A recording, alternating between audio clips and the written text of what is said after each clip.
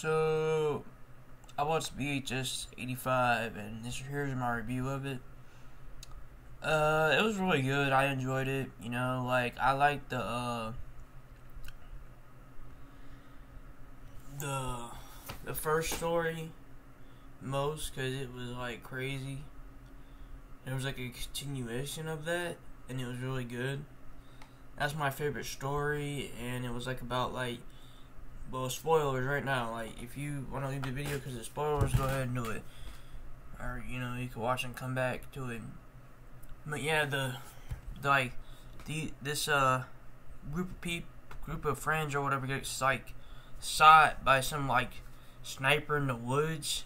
It's so weird. Like it was like crazy, and then they come back to life for some reason because of the water, and then like the story leaves off from there, and then it comes back, and then it's like this family. Then then you know it's like it's the girl the girl who killed them like like uh like the with the symbol like you didn't see the girl in the first story but then you see the symbol that was on the van or whatever the trailer not trailer but um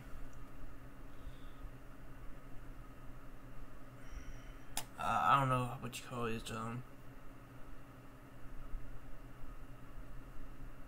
RV yeah that's what it's called it's RV yeah, there's a symbol on the RV, and then like the girl has a symbol, and like it's like a whole kill our family. Like they go out and kill people, and then like the uh, the group of friends or whatever come back from the dead, and they're just they were already back from the dead, but they come to where their family lives, and they give this water bottle to the kid, and the kid like I guess the uh spills it on yeah he spills it on to like her his the sister who killed him.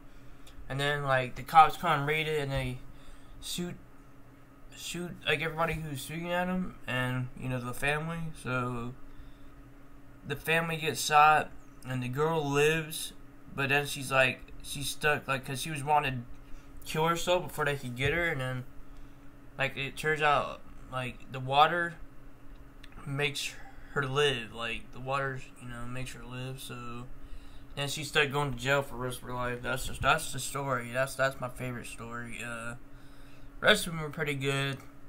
They were pretty good. So yeah. Oh no, I'm gonna give it a like a eight out of ten. So yeah, that's my rating of VHS 1984. Or not 1984, 1985.